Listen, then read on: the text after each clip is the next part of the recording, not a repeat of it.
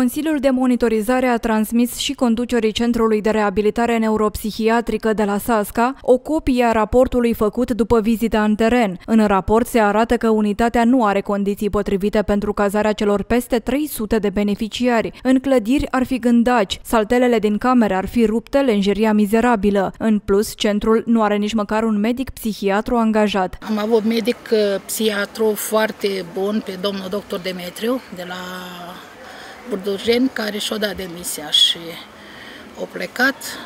Și de atunci avem colaboratori pe baza la trimiterea medicului de familie, mergem la medicul psihiatru și uh, ca să putem uh, să le asigurăm tratamentul. Personalul instituției este subdimensionat. O singură infirmieră are grijă de 15 beneficiari cu probleme de incontinență sau imobilizați la pat. Sunt uh, la etajul 2 unde sunt bărbați, în pavilionul mare acolo, spre exemplu, am uh, pe o tură, este o femeie singură de noapte. Vă dați seama, o femeie singură pe un pavilion de la, la bărbați. Am unde sunt și numai femei. O femeie singură să rămână, că tura de seara să începe iarna e mai ușor, că se închide întuneric și e mai simplu, dar cum e acum perioada asta și tura să schimbă seara la uh, 18.30. Vine femeia la 18.30 și stă până dimineață. Păi ei mai circulă prin curte, mănâncă, să plimbă, o sing un singur om să se ocupe de toți, e foarte greu foarte greu. Ați solicitat la Eu în fiecare dimineață când ajung la serviciu sunt foarte bucuroasă că a trecut o noapte și nu s-a întâmplat nimic, n-am avut uh, evenimente. Deci practic am un stres continuu. Știu cei de la Direcția pentru Protecția Copilului, Bine, dar noi... Consiliul Județean, situația de aici? Mm, eu nu discut la Consiliul Județean. Noi am făcut la, la direcție, am făcut uh, cerere pentru Uh, posturi, dar v-am spus uh, care a fost uh, răspunsul, că întrucât suntem în proces de restructurare, nu se scoate la concurs, nu se organizează concurs. Eu mai întreb o dată, o singură infirmieră la 15 da. beneficiari? Da, da, așa vine cam unul. Deci ei normal ar trebui să fie doi la grupă. O grupă are între 15 și 18 beneficiari dar uh, faptul că uh, trebuie să asigure și concedii și zilele libere, că le vine rândul la anumit timp, au zile libere.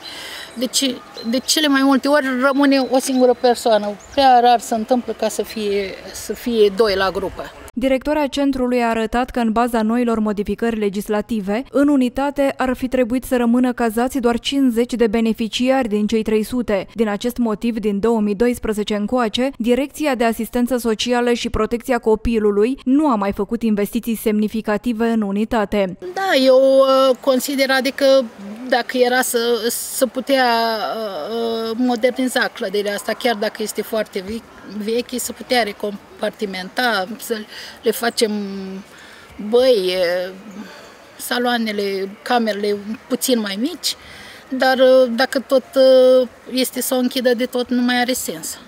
Nu mai are sens. Da, Cu toate că o să fie foarte greu de... Sunt, toată lumea acum zice că să identifice uh, uh, uh,